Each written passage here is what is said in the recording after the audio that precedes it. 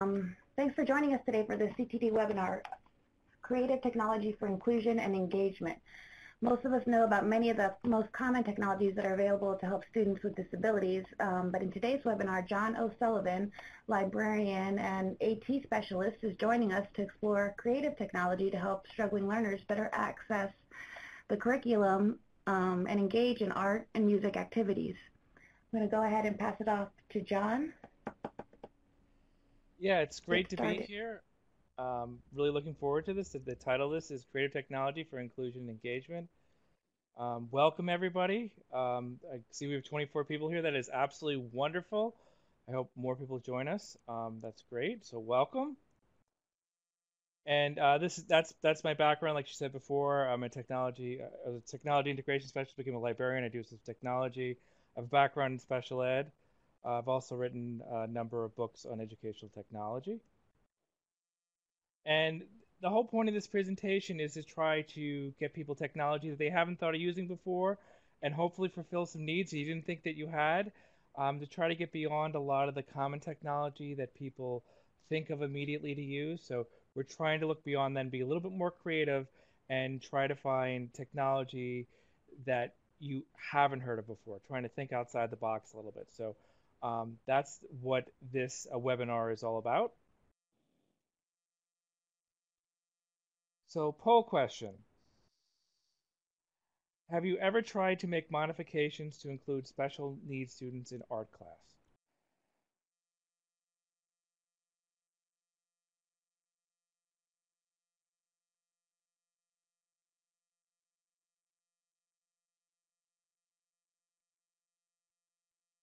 See, we're having a, a varied response. So it, it's uh, about in the 70s for yes, but we have some people who haven't.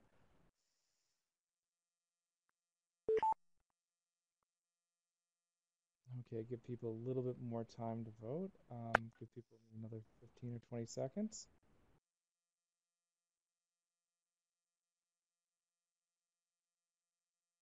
Okay, I don't see the numbers moving, so so we have about 17 people voting, so I'll assume we're close to being done.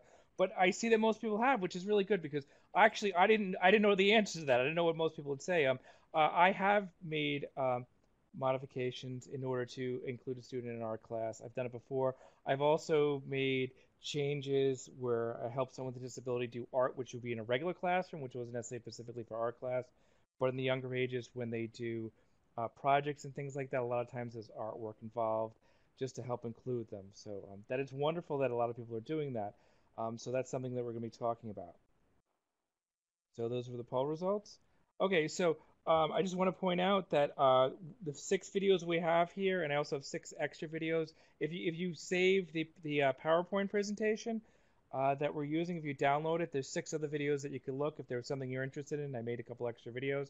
And obviously, this webinar is being recorded, so you could go uh, to the YouTube channel for the Center on Technology and Disability and to, to, to watch the entire presentation if you'd like. I want to remind people of that.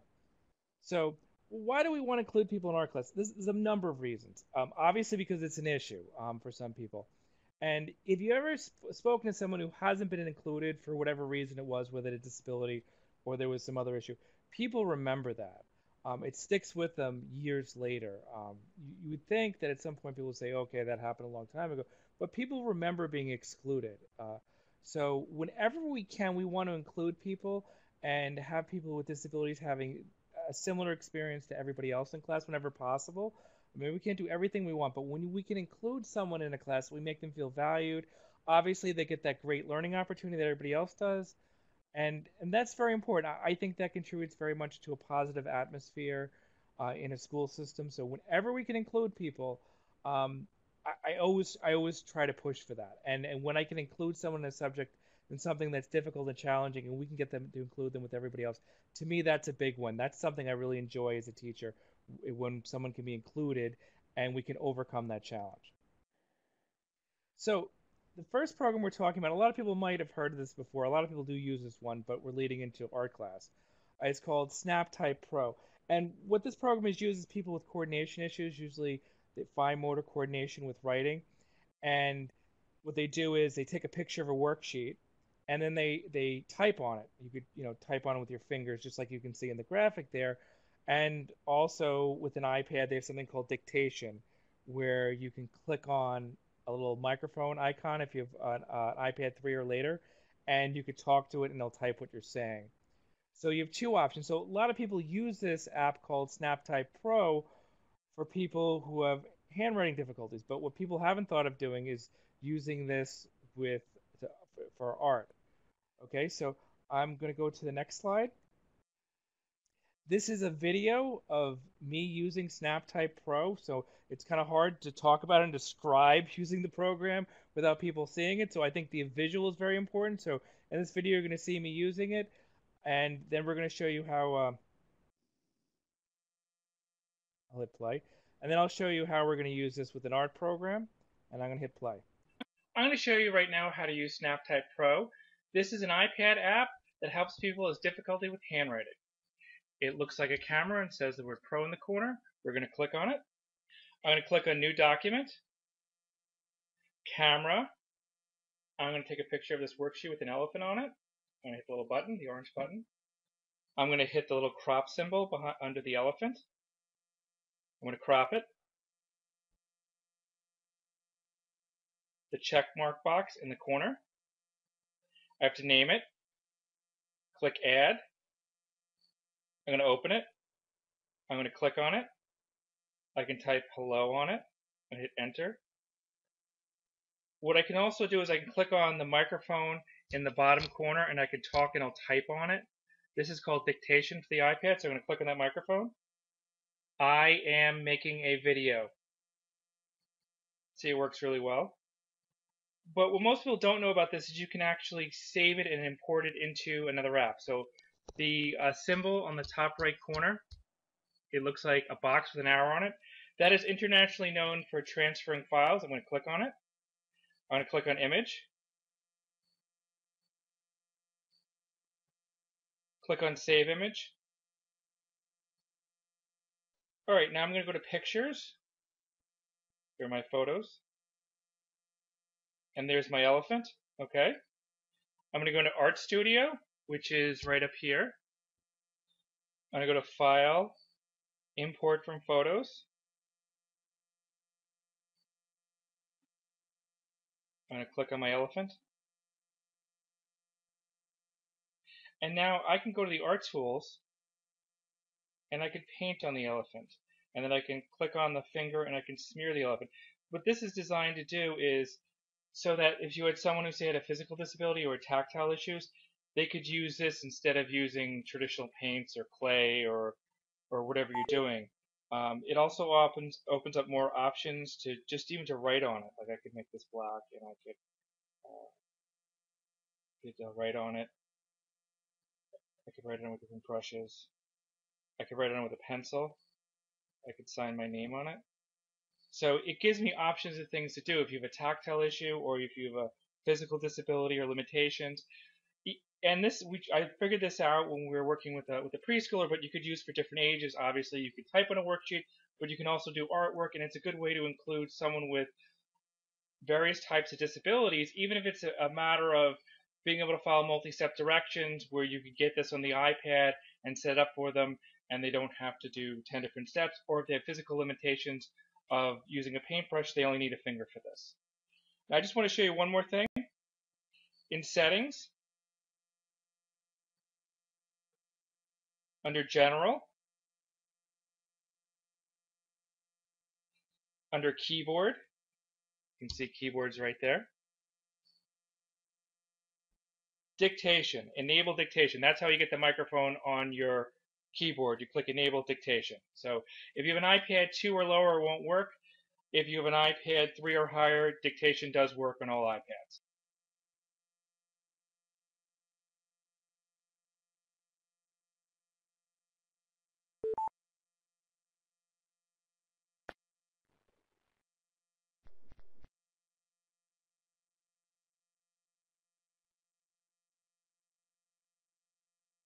Okay, so Art Studio is, is one of my um, favorite apps when it comes to art uh, because it, it's simple and it has a lot where it, it does um, things that are you can do very simple things w- with it, with just drawing and painting, and it has higher level features that are similar to Photoshop, like it has things like filters.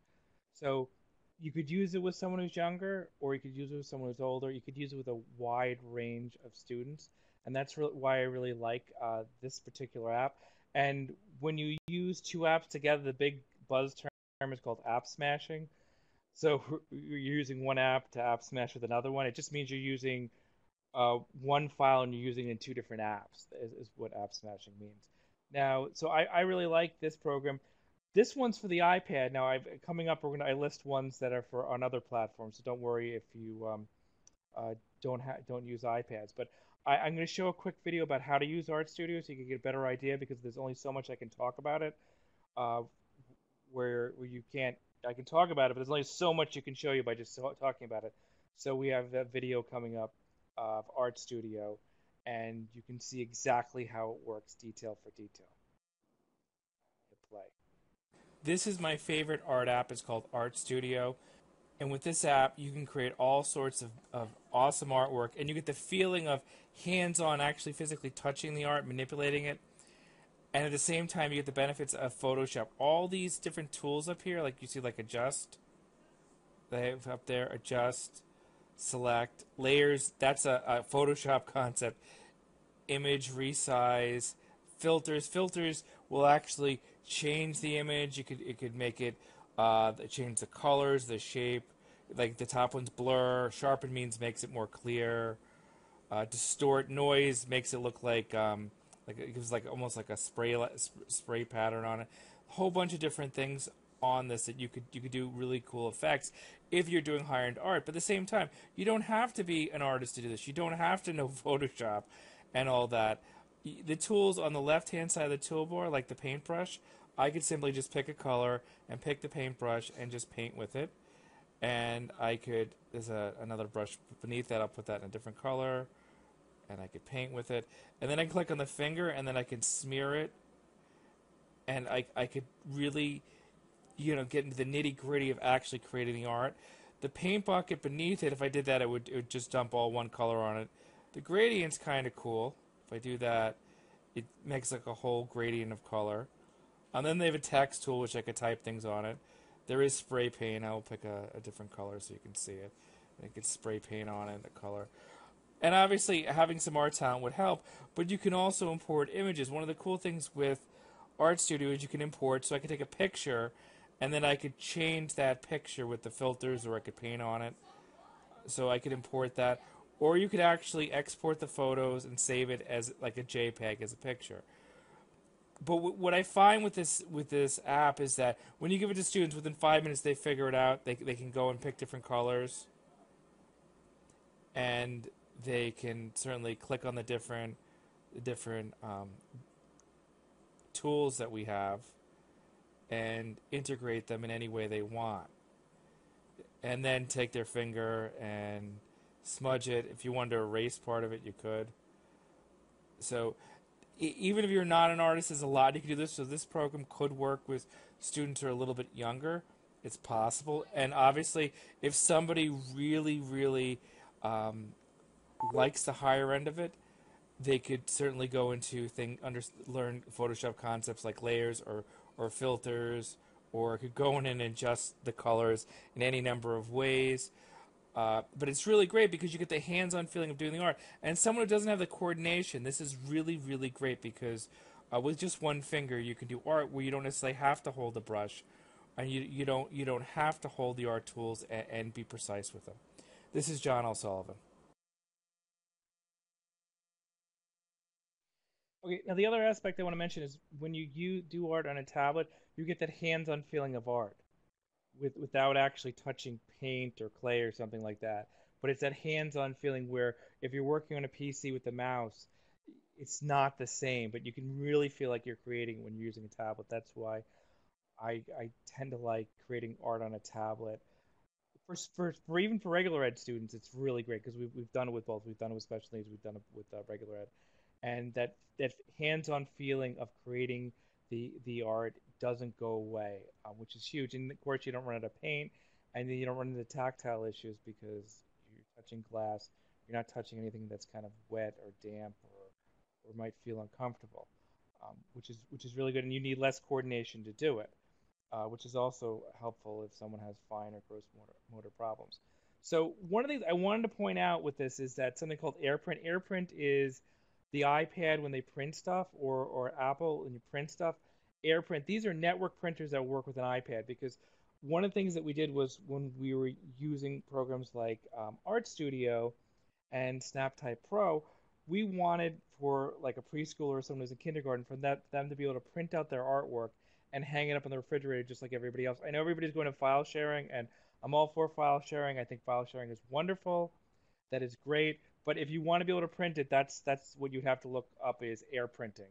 Uh, if you wanted to print out the artwork. And I always try to remind people, like if you're using an iPad, if you can get an Apple TV and project it, it, it adds a whole new dimension to your classroom.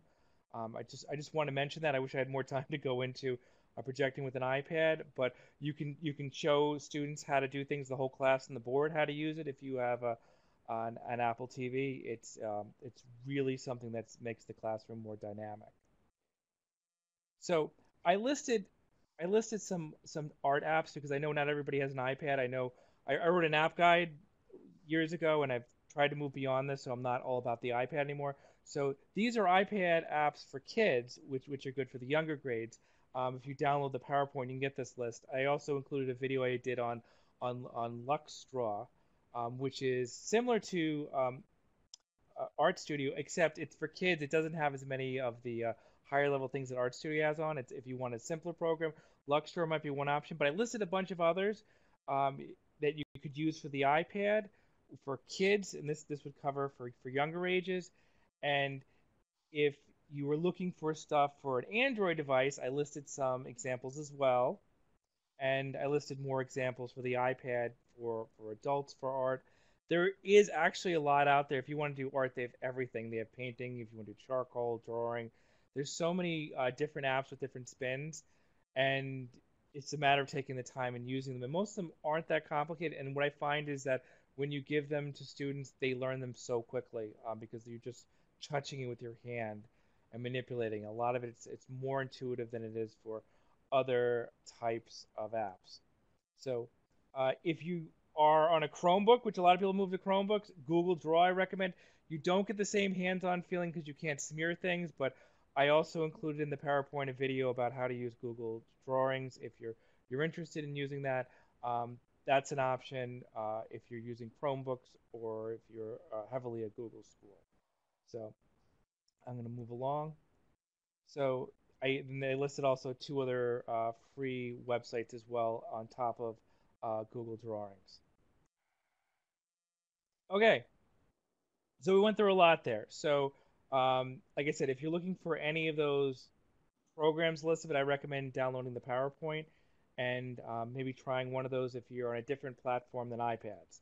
Even though I very much for people with disabilities am very strongly in favor of iPads, I still think for people with disabilities that tends to be uh, one of the, the dominant platforms to, to use with them. But I know a lot of the schools are going towards a Chromebook, so uh, I want to make sure people had options. So what I want to talk about now is why do we want to include people in music class? Um, and it's a lot of the same. It's just a lot of the same things as well. And I know when I was younger, people did well in school. It's like they got to play a musical instrument. If you're struggling in school, you did more reading instruction.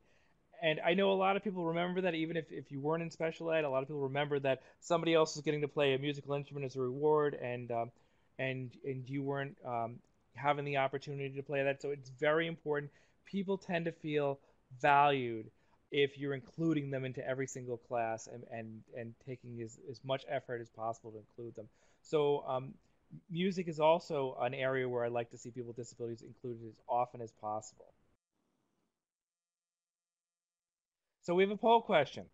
Have you ever tried to make changes to include special needs students in a music class? I'll give everybody uh, a minute to try to answer that. So we have about 60% no and about, let's, let's looks like it's to look closer. Okay.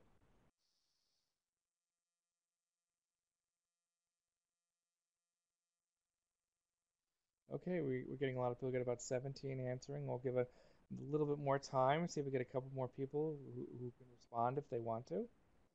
About 19 responses. Okay, so it seems about split. Most people, slight majority, haven't done this. And for some reason, I know art class seems to come up because the younger ages they tend to do a lot with art, so we, we tend to get that. There's actually a lot of technology out there for music. There's more technology for music than there is for art, which is surprising. But I think the instance of including people in art tends to come up more often because the younger grades, uh, preschool, kindergarten, and elementary school, they tend to do uh, enough projects with art that that question comes up in the regular classroom a lot of times. But there's a lot out there for music, so if we want to include people in music, obviously that's an opportunity that we want to allow every student possible that we can. So let's move along to the next one. The um, the uh, the program. This is a, a website I found recently. It's called Chrome Music Lab. It's a, it's very simple ways you can you can play on a website these very almost uh, um, musical instruments on a website. It's very simple. It works great for kids. It's actually a lot of fun. It's it's something you if you um, you know you know were stressed out, you could go and do for a little while, and you feel better about yourself because it's so simple and so intuitive to do this. But there's a lot out there for music for the younger grades, and there's a lot out there for music for the for the older grades. So you can find like an instrument that's very simple, and if you wanted somebody who wanted to mix a bunch of different music, and and to make something that was very very well thought out and planned, you could you could do it um, when it comes to uh, creating music with computers. It, we've come a, a, long way in the past five ten years. So I'm gonna go to the next slide. This is a video of me using the website and explaining it. And there's actually a lot more on the website than I get to show you. I wish I could show you it all, but obviously we have time limits. But it's really, really simple. And It's really cool, and you could teach younger children very basic things about you know rhythm or music or sound with this. So um, we can uh, load up the video in a minute, and I'll play it.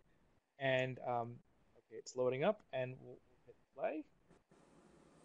This is a website I really like. It's called Chrome Music Lab because it can be used to teach basic music concepts to younger children. So here's the first one Songmaker. So basically, what you do is you click on these.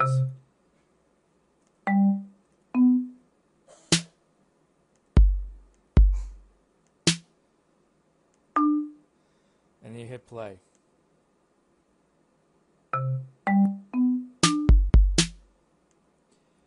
And obviously, you could do this with the rhythm, and you could do this with the scheme, and you could create a basic song in this and understand how the different sounds can be mixed. Um, and anyone with any sort of background could experiment with this and create something with music. This one is rhythm. So basically, you put in sounds and the, they play the drums for you.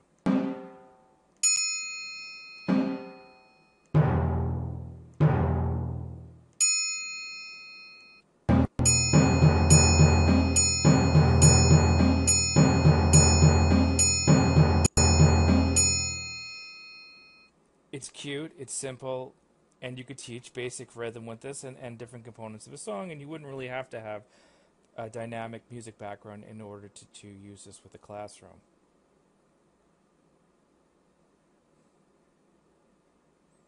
Now this one teaches chords.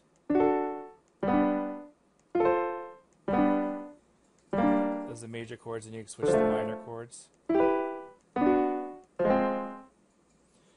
So even if you weren't a musician, you could show different chords in music. Uh, very simple, something that you could you could use for a few minutes. This is John O'Sullivan, Chrome Music Lab. I hope you liked it. Yeah, that that that's a great website. Now, if if you're in any device, you could use. Since it's a website, obviously you could use it on a Chromebook, you could use it on an iPad, you could use it on a PC, and, and it's so simple.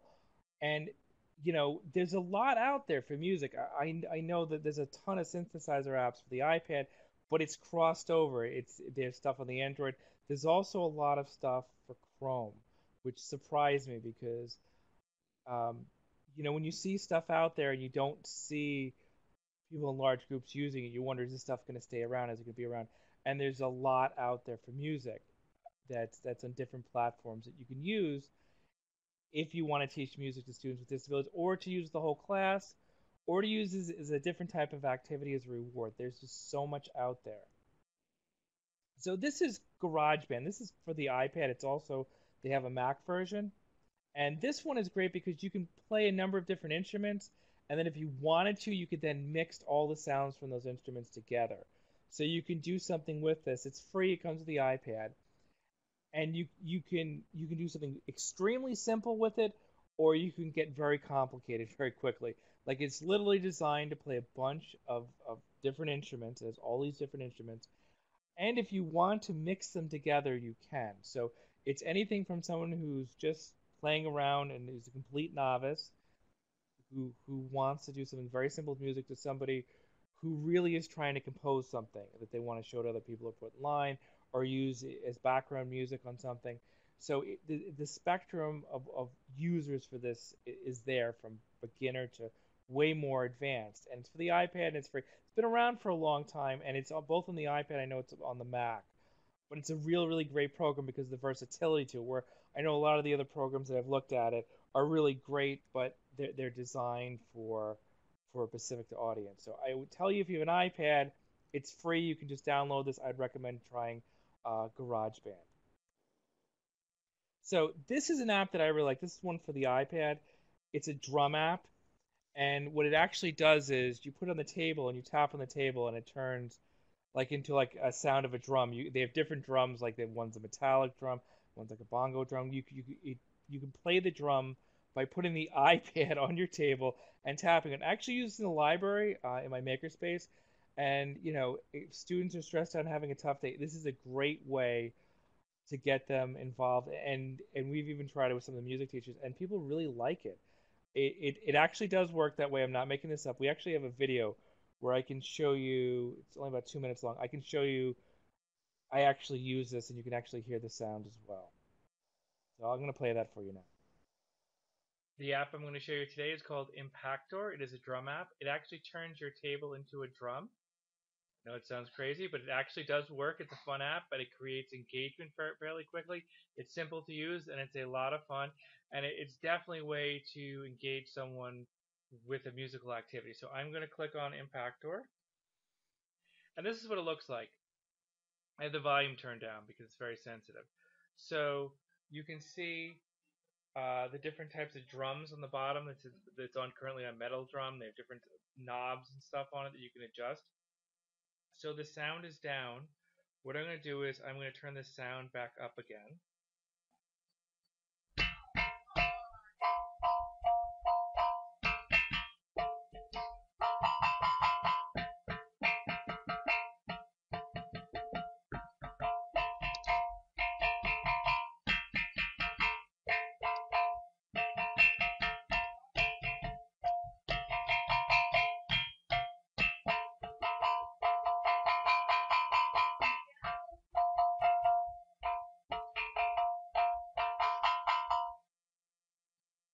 Turn the volume all the way down because otherwise it, it, it really impacts what we're doing. All right, so I have I have it off. So you get the idea. It's a fairly simple app, but it can quickly engage someone into an activity. And even if you weren't t- teaching music, this is a great way to break people out of their shell to have some fun in the classroom.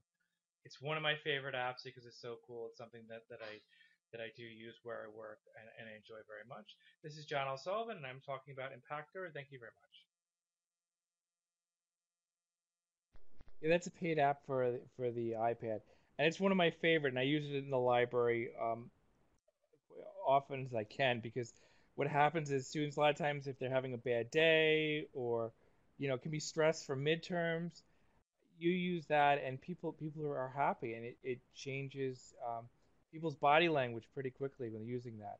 And they can't believe it actually works, which the technology for it isn't actually that complicated, but it, it's such a cool concept to think that you could you could turn your table into an instrument. And you can actually record it and it can actually be useful which is really amazing. So that's one i really like. I have in my makerspace and it's something that when i have classes i like to show them because it's guaranteed to get them engaged. And if it does anything it will at least change their mood pretty quickly um, and it's definitely very good for stress. But obviously, you could teach musical concepts with that as well, and you could actually make music with it and record it and use it in a song somewhere if you if that was your goal. So, but you know, you don't have to have a full drumstick set or drumsticks. You can just have your iPad and, and an app, which, which is really wonderful. So um, we're to move on and some other ones. Now, these are, are synthesizers synthesizers make music. Like in other words, basically you can make the sound of different instruments and mix them together. And synthesizers can be different. Some they vary. Some of them have you make the, the individual songs and the, each individual sound. Other ones give you the sounds and mix them together. And there's a ton of them out there that are very good. The number of for some reason it seems like the people who like computers and like music because you use music you have to be very creative but then you have to be very kind of exact so there are a lot of people who are musicians who also like computers. So the amount of apps out there for synthesizers, there's a lot of them. There's, a, there's definitely an audience for it. So these are ones for, for Android devices. So in, in case uh, you don't have iPads and, and or you don't want to spend as much money, maybe you want an Android tablet. Uh, these are these are some options to use. Okay, these are for Chrome which this surprised me. There, it's, it's crossing over to Chrome, and these get very good ratings. So you can actually make music if you um, are a Google school and you're using Chromebooks, or if you have a PC, you could use it as well because these uh, extensions should install on your Chrome browser on a PC. So this should open up a lot of options for people if you wanted to to use music with students, either to relieve stress or to teach uh, to teach music or to include them or whatever your goal is, here's a great option. And this is something that most people should be able to use, obviously, if you have either Chromebooks or a PC. It's, these are three good options. Okay, so this is the list of apps for, for, for iPads. There's a ton of There's so many out there that if you're looking for something specific, they probably have something about it. And they, they're, there's a, the list is so long. I, I could have included another page in this. I just didn't bother. But there's so many that have like four and a half or five stars that are just unbelievably good apps. So the, the options if you have iPads are definitely there as well. So question. Uh, this is a question. This is for this is really for me, and this is a question that I ask. I, I think about all the time. Um, but do you currently use technology with the goal of creating engagement? For me, that's something that's a big thing of what I like to do. I think that's very important. And I know early on in my career when I was a young special ed teacher, and they were talking about motivating students, and I would say, well, how do you motivate students? I mean, it's really hard to convince somebody to do something that either they don't want to do or they're in a bad mood, and they don't feel like working. And I think 20 years ago, my answer was I didn't know how to motivate students. Now, today, with the technologies out there, motivating students, I think, is something that is more possible than ever before. It is really, really something there's technology out there that gauge students, just like we showed with the art apps and the music apps and the, the music website. There's so many ways to engage students and to, to get them to be active part of the learning process. And even if, even if even if you don't have an academical, there are things obviously out there you can have them do to change their frame of mind, to change their mood, because anxiety is an issue that is much more prevalent, I think, today than it was 20 years ago. And I'm not 100% sure. Maybe we know more about it today and we recognize it more today. That's part of it. I think some of the anxiety is higher because maybe some are changes in our society, either with the family or with high stakes testing. But I, I, believe that engaging people and looking for technology to engage people is an, is an absolute goal that I have. And I hope that's a goal that if, if you don't have right now, that I hope that that's something you think about, especially from from listening to this webinar. That maybe you'll pick up one or two things that you can really bring back to engage your students. So this is a big one for me. Uh, one of the things we do in Learning Commons is we we make green screen videos, and it, this used to be like video editing used to be something for the high end computer user like me, and it's not anymore. Now it's something that everybody can really do.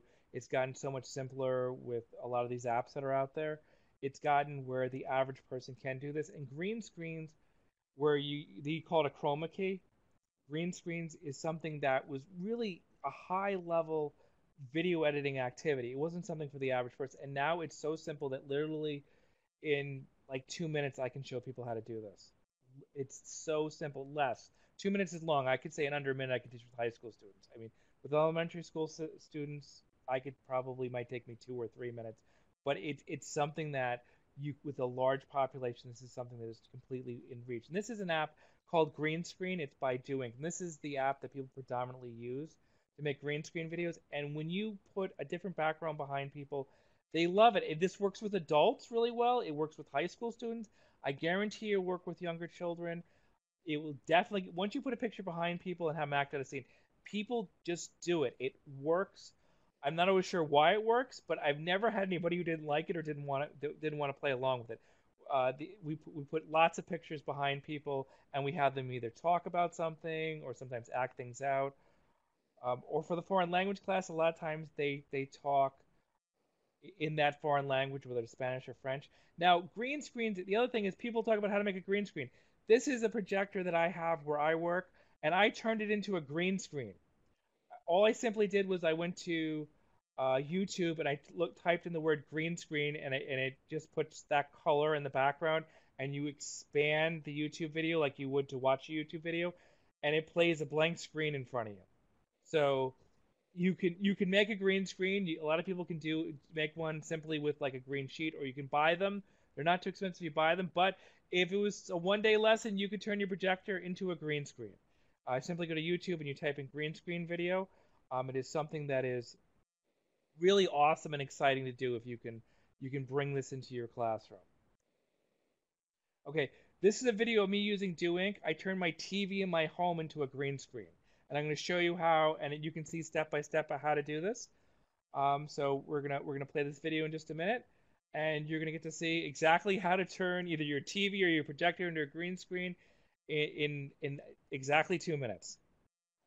The app we're going to use now is called Green Screen by Do Doink. It is a green screen app. It's also a video app. It helps you make very simple videos. It is this strange octopus looking creature over here. I'm going to click on it. Then I'm going to hit the, the plus symbol, which is right up here, to create a, a new project.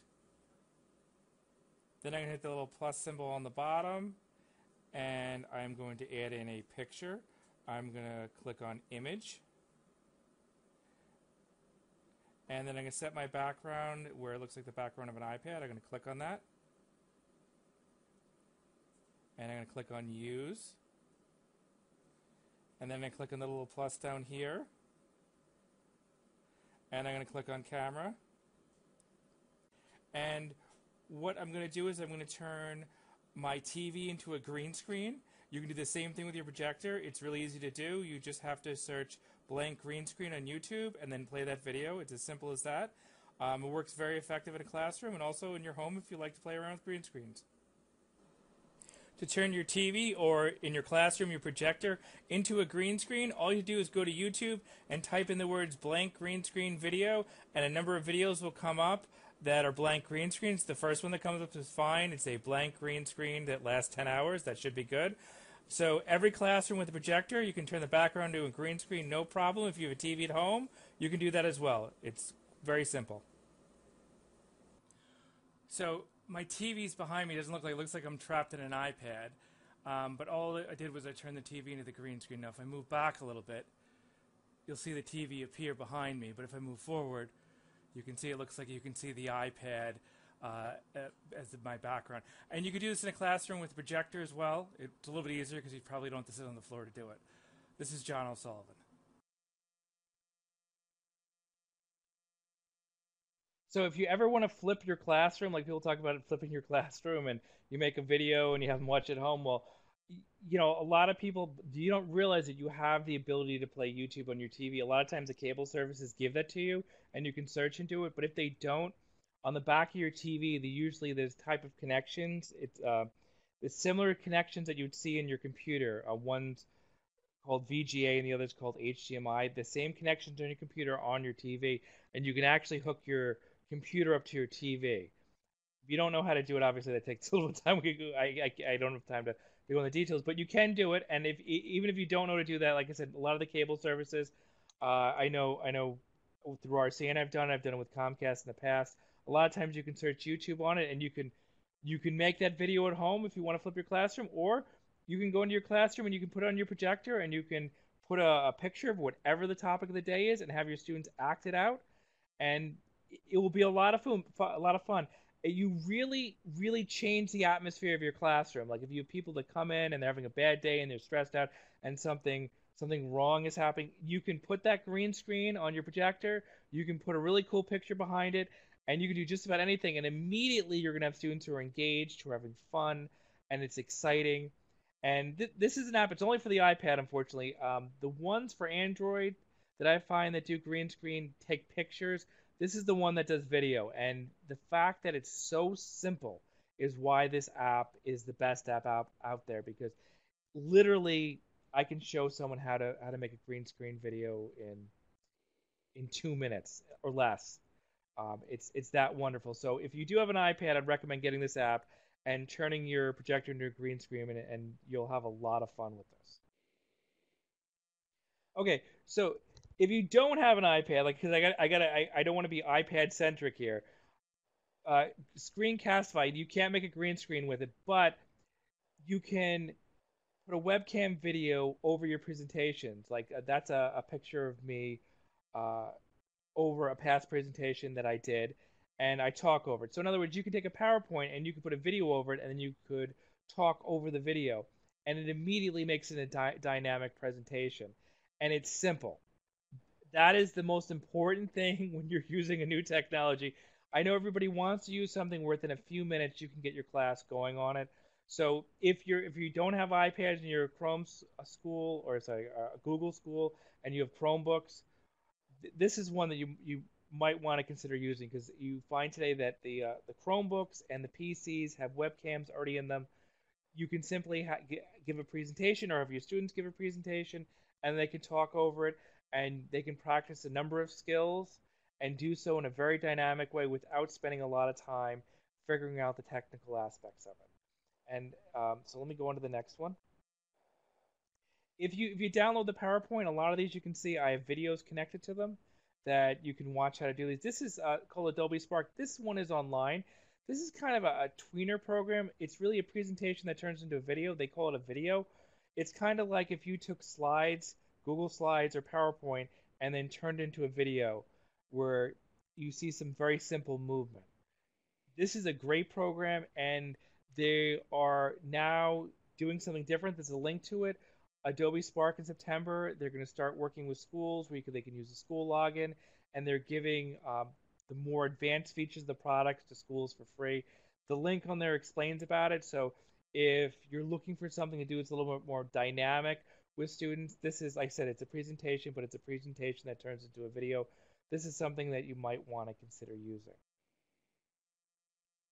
Okay, so obviously to create engagement and to to really get your students to do something games are a big thing and i know people talk about gamification well we can't turn everything into uh, you know a video game I, I don't think we're at that point but there's a lot of positive aspect from games that we can we can use with our lessons and i say as long as we can link it to the curriculum and the primary goal is to teach the curriculum and the game part isn't a distraction taking away from I, i'm all for it so there's a lot of very simple games that we're used to playing and we've played before, and we can actually integrate this into our curriculum, which is kind of awesome.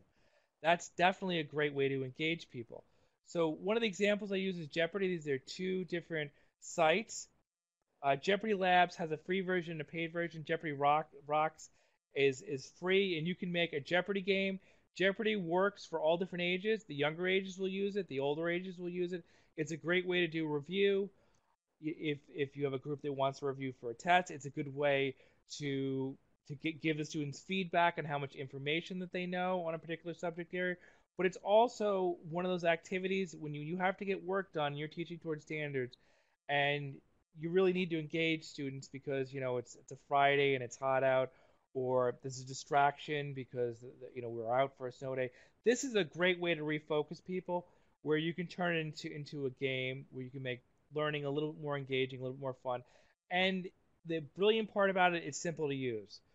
So that you don't have to be techie or geeky to do that. It's little like filling out a template and you fill in the questions and you know you'll find within a half hour you could you could fill out one of these and use it with one of your classes. And I did make a video on it. We're not showing it, but if you go to the PowerPoint, you can click on that link if you want to learn how to use one of those, these programs. Um, so that that's something you might want to consider uh, doing if you download the PowerPoint. Mad Libs. Okay, this is an iPad app I have for, for Mad Libs. Now, I will warn you about Mad Libs. If you're a middle school teacher, you might be nervous about using Mad Libs. I, I work in a high school. I know the high school teachers I work with would tell you don't use Mad Libs with them, but I've seen this used with elementary school students.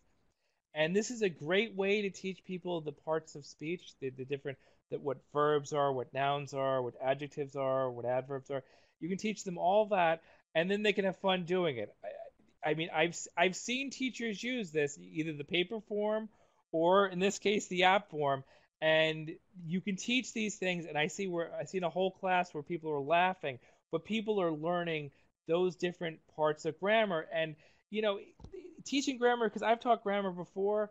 It's not. It's something that sometimes can seem not always the most exciting thing to do when you have to kind of drill and practice do it. So if you can make this a fun activity where people are engaged and laughing and enjoying it and thinking of things that will make it will make it the story interesting when you read it, but won't get you in trouble or won't get them in trouble is maybe a better way to say it. Um, this is a great activity, Mad Libs, and this is a great app.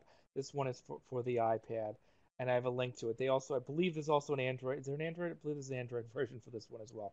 It's on two plan. Yeah, it says Android. So if you if you if you if you don't have an iPad, you could use this on on an Android, uh, either phone or tablet. Okay, I'm gonna go to the next one. This is Algebra Touch. This is one of my personal favorite apps of all time. It's a math app, and it's so hard to get something to teach math that is really engaging and that can make that difficult, stressful math problem something that is is is can be actually even kind of fun because it shows you all the steps and it makes it seem easy because if you don't know how to use do the problem, you can actually click on it and try moving things and you'll find out you'll actually be solving the problem even if you didn't know anything to begin with. It literally shows you step by step how to do math problems. And the brilliance of this, it will show you simple math like adding or subtracting it will show you more complicated math like algebra, and you can even put in your own problems. But the way it shows you step by steps, it doesn't give you the answer. It forces you to learn it, but it, it, it makes you feel more comfortable because if you didn't know what to do, you could literally start touching the screen of the iPad and you would see progress. Uh, this is an iPad app, so I'm going to click on the next one. We have a video for this one, and when you see this video, you'll see how quick and fast this goes, uh, how user friendly it is. Uh, it's one of my favorite apps all time. We're going to play it for you right now. This is Algebra Touch. This is one of my all time favorite apps because it teaches math and it teaches math by showing you every step and it does it on different levels. Like it's, it's called Algebra Touch, but it will work with simple adding. So if I just simply, if I touch the plus symbols, it, it adds them. So very simple. And you can type in your own problems with this as well. So let's get a little bit more complicated, uh, combining like terms. So you can hit the plus symbol, or I, I, say I can drag 17 over to 2c, right, 17c to 2c, and I get the plus symbol, and it gives me the answer. So, and it, and it gets more complicated from there. There's multiplication, there's factors. Let's try distribution, that's a little more complicated. Okay, so I can drag the 18 over. I can drag the 8 over. See, you keep hitting different things until something happens, but it shows you what it's doing. See, it shows you how it's actually distributing it. It just doesn't do it on its own. And that's what's really awesome about this program is it shows you each individual step. So the, the really great part is you can create your own problems. And that's what makes this so amazing. So it's just a quick problem. And so if I want to type in 2 plus 34 minus 5. Well, I guess I hit one too many numbers there, but you get the idea. And then I can simply start clicking on the symbols and it combines like terms and we'll give you the answer. But it shows you each individual step. So it's not about giving the answer, it's about showing process. And that can take a lot of the fear out of math. That's why I really love uh, this app, and I highly recommend it. It's called Algebra Touch, but it does things way beyond algebra. It does things like the distributive property or, or basic adding and subtracting or, or, or multiplication. Um, so it's a really great app. This is uh, John O'Sullivan. Yeah, that that is a great app if you're using it with a student, especially if you have them like like a learning center, resource room type type classroom where they can sit and do math and practice doing it. And then you, the thing about it is, everybody struggles with math. Even adults struggle with math. I mean, I, am I'm someone who's always good at math, and sometimes I look at the stuff the high school students have to do, and I'm like, wow, I've never seen that before. So, but the brilliant thing about this is you, you don't feel like that when you're using it because even if you had no idea what to do, you could literally start touching it, and it would eventually do the problem for you, and pretty quickly at, at that. Uh, and something about touching it and showing you each step, it makes you stop and think about what's actually happening in the problem, which I would tell you from math teachers' point of view that that is certainly a, a, a big deal. Um, to to stop and see how the problems are, not just having to give you the answer. Um, that is always huge. That it, it uh, you can see you can see how to do the uh, the, the problem. So um, so that is algebra touch. Um, so I would tell people if you um, if you join us late, I would tell you if you have a chance to download the PowerPoint that has all the different links the different things that we're doing.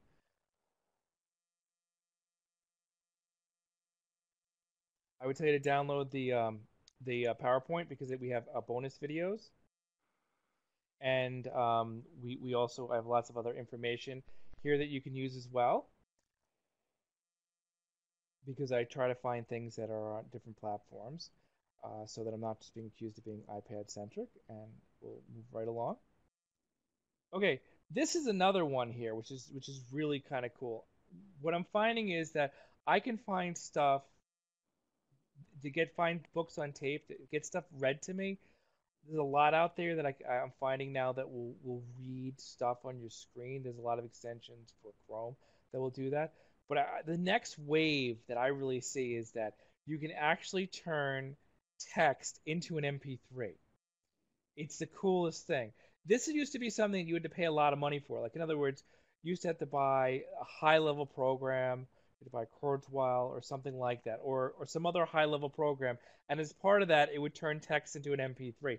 Now you can go online, literally cut and paste some text, hit a button, and it'll turn into an MP3 for you. So we've gone beyond having text to speech so because there's a lot of that out there because we're finding that on the operating systems. There are there are extensions for the chrome browser that will read stuff to you that's on the screen. But most people haven't thought of turning into an mp3 now something like if you for instance had notes or something that people had to study you could simply cut and paste it and then download as an mp3 this particular website works very well. There's a bunch of them out there and i find some of them work some of them don't. This one works very well but there are others out there that you could find if you simple to Google text to MP3, there's a number of websites that come up. It's free, and if you have something important that, that you're working on and you want a student to learn it in a multisensory way, you could have them cut and paste it, or you could do it yourself too, cut and paste it, download as an MP3, and then they could obviously listen to it over and over again. But students these days are coming into school with um, with those smartphones. They could you could they could put on their smartphone and they could listen to those notes over and over and over again when they're studying for a test. And if you have worksheets or something in the classroom that you need read to students, simply take that Microsoft Word document, copy and paste into the website and download it, and all of a sudden you have the document where it can be read to somebody, which is which is really really great. And I think this is uh, something that people haven't thought of to use yet, but is is an amazing tool that I certainly would recommend people trying if they haven't already.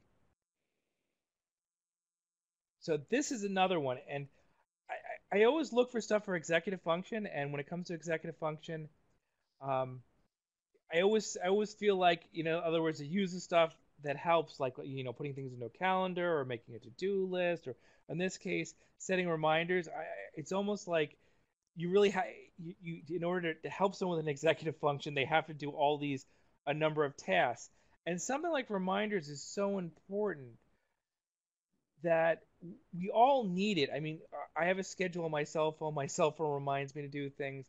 But when you're in a classroom with, with a number of students and you're very busy, it's hard for us to keep track of time. So this is something you could do is you could set reminders for students, especially if you have students who are on the autism spectrum who need anticipation before they do something, who need to be told at a certain time that, that something the schedule is changing. you can set reminders. And a lot of times as teachers, we get stuck setting these reminders. Obviously, we can have the student do it. You know, sometimes people who don't have a good executive function need someone around them who has a better one, like like adults in their lives. So it, it, a lot of times we get stuck setting these, but it is so important because I know I know even when I'm teaching adults, I'll say we have five minutes left, we have ten minutes left, and I, I I'm constantly find myself pacing. But it's so important to have those breaks and those reminders in there, especially for people who have difficulty in the area of executive function. And this is a simple way. This is an app that gets a lot of reminders that you can use that will, will, will remind you of different things. And obviously, someone has to go and set the reminders, either you or the student. But this app gets a lot of ratings. A lot of people don't think of using something like this, but again, when you're when you're teaching a group of students and you're in constant motion, you're constantly busy, it's going to be hard to remember in a half hour what you have to say or an hour from now you have to say or you have to remind people five minutes ahead of time to do something and pacing of our classes is a big thing that we do and we don't always get the breaks so i always recommend this is a good way of doing it setting alarm reminders this is one for the ipad that i really like okay this is another this is another one for me this is a joystick and a mouse this might be a, maybe a pet peeve of mine but prices for stuff for people with physical disabilities have gone way down for a lot of the items out there. Not everything, but a lot of it. This is a, a joystick. You can get a joystick either for a mouse or an iPad. You can get them for like $300, $400 tops. Usually it's closer to $300 to buy one of these. And if you have someone you work with, a student that has a, that has a physical disability, I, I recommend going and buying a lot of this stuff because it, it's not not that the money should be the determining factor, but you you can get stuff for a couple hundred dollars. And like I said, if it doesn't work out, pretty much all these places have standard return policies of 30 days because I've called them up before because I get I get teachers who are nervous. Well, what if it doesn't work? I said it's okay. We can return it. It's a store. They will take it back. It won't be the first time something's being returned. But it seems a lot less threatening when we have to go into meetings instead of saying we have to spend thousands of dollars to spend a couple hundred.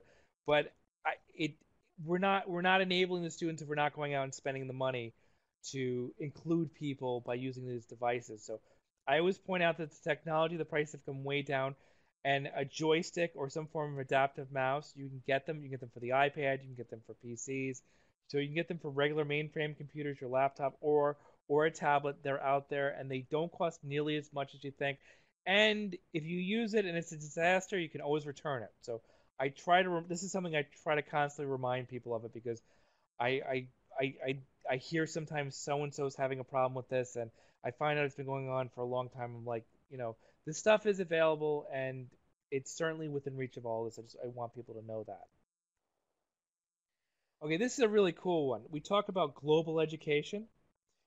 Where you know we have the global classroom, and a global classroom. A lot of times, what that means is we're video conferencing with people in other parts of the world, or even other, even our hometown, or or or just the town that we're working in that we're we're using video conference. Now this is a microphone inside of a ball. So the idea is it's a wireless microphone inside of a ball, and you could pass to the students, and you could have a speaker anywhere in the world come into your classroom via video conferencing, and you can say, "I have a global classroom."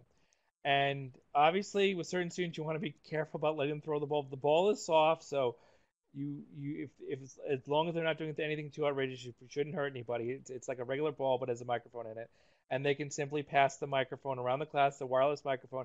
It works really well, and then you can say you have a global classroom, and then you can try to find people from either other parts of the country, or even in the town that you work in, you could talk to important people, and you can have people visit the class, and it opens avenues like never before to help people with social skills, to help connect people with the community, to talk about a subject and bring in an expert into your classroom and they don't have to drive to the school. Even if they live they live a few miles away they don't have to drive there.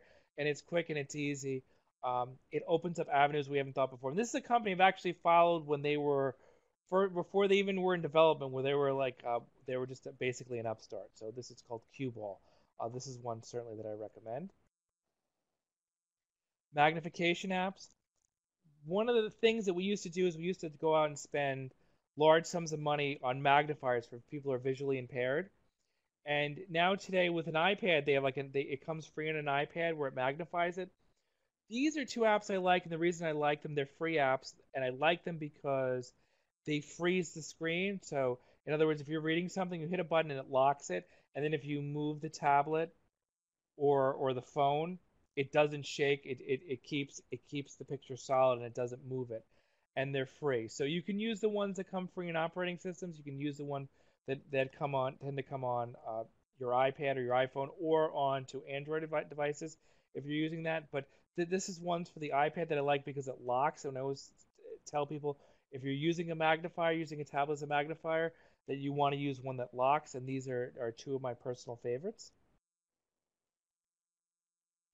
Okay, and we have another last thing I want to talk about. We talked about personalized learning is a big thing in the field, and by using technology, personalized learning means it gives that individual feedback on how they're doing. It personalizes it, but there's also depersonalized learning, and I'll tell you from experience, people get less stressed out when, when your phone tells you you're doing something wrong, or when when Microsoft Word has a little squiggly red underline and you misspelled the word, because people feel as though when they're getting negative feedback on a computer, it's private and the whole world isn't seeing it. So you personalize learning in the sense they're getting individual feedback, and you have depersonalized learning. Is not as much stress when you're getting feedback from a computer. One because it gives you the feedback immediately, so it wasn't sitting there very long where you thought it was right. So you correct the problem right away. But it's also like if you ever had uh, someone who you really thought very highly of correct you, you know, your parents or a teacher, for some reason when those authority figures correct us, it's more painful. But when we get that feedback and it's private, it's less painful. So I, I, I try to point this out when people are using computers, you get personalized feedback, but you also get depersonalized feedback because it's less stressful. And that's a big deal to a lot of students because there's a lot of stresses on students today. So we're up to the last part. I, I somehow fit all that in to exactly an hour. I don't know how I did that. Um, we went over a lot. I, I hope I found some really cool things for everybody to look at. And I would imagine if, if you if you uh, if you've been listening for a while, that you found a, at least two or three really cool things that you could probably start in your classrooms now, and to make it more engaging or to, to help students who have disabilities. If anybody has any questions, now would be a good time. I would I'll try to answer them best as I can. And the PowerPoint has a lot of information. I have six more videos on how to do things and there's a ton of links and information so that if I didn't cover it, you, there's a, a, slew of information that you could use in that subject to find the answer for yourself. But if you have a question, I'd be happy to answer them right now if anybody has any questions.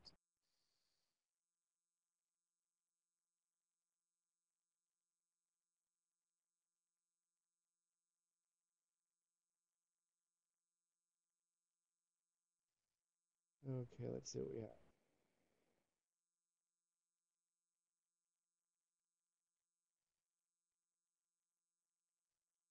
Okay. Uh, someone saying, okay, it was uh, it was text MP3, not speech to MP3. Okay. Uh, okay, people are liking the ideas. That's good. Um, this is great. Thank you. I'll take thank yous. Thank yous are always good. I like like hearing that. Thank you very much. I'm glad people enjoyed it. Um, I put a lot of time into this, so if I can um, if I can help somebody out with technology, I'm I'm always I'm always happy to do that. Can't wait to go over the PowerPoint. Yeah, the PowerPoint. There's a ton of information in the PowerPoint we showed six videos, but there's six more videos in the PowerPoint. And as you've seen from my videos, they're very straight to the point of this is what you need to do it. And you can tell I was been a special ed teacher for a long time. I'm very good at giving directions and cutting out distractions. Um, so if you liked any of these, definitely download the PowerPoint and then look at the information that's relevant to you because a lot of it's crossing over to platforms. When I wrote my first book, it was all about iPad apps, and since then I now write about uh, stuff that's on other platforms like you know Chrome. You'll find a Chromebook or a PC or on a Macintosh computer. Someone asked if Algebra Talk worked with VoiceOver. Okay. Uh, VoiceOver. I've never tried it with VoiceOver. Um, VoiceOver works with most apps. I guess you could try it. Um, I, I haven't tried it to be certain. I would expect that it probably does because most of them do. Do we have any other questions? Okay. Um, well, I want to say thank you. It's been wonderful. I absolutely love doing this, and I'm I'm thrilled that I've had the opportunity to do this a second time. Um, and certainly, I'd love to come back again. I hope you have a slew of information to go over and that you're able to use all this information to engage your students and to include your students whenever possible in things like art and music. It's been a pleasure.